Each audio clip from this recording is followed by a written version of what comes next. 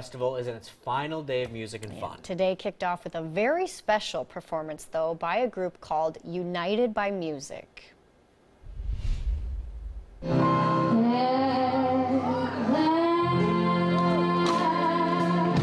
That's the voice of 22 year old Marlana VanHoose.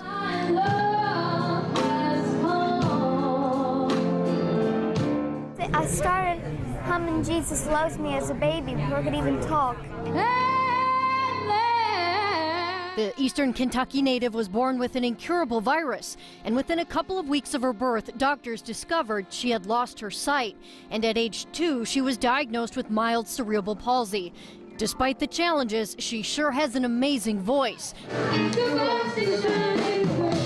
and impressive keyboard skills.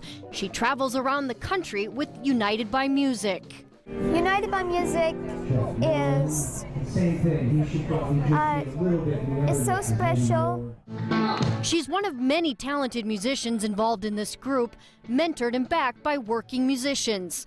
They coach and mentor our artists on how to become valuable band members, how to perform as a band, because they all are musically talented.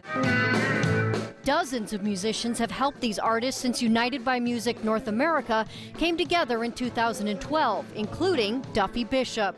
It's so exciting because music is one of the healing things in the world. And the first time I heard Nick play, I was just blown away. He's just so great. She's talking about Nick Baker from Edmonds, Washington. He sings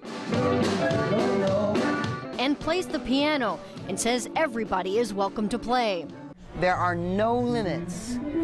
Whether you're like uh, sighted or, or like different abled, or you have a musical talent, you are always welcome in United by Music. Marlana VanHoose has a similar message. Do not give up. Always focus on your dreams. We are, always remember, we're united by music.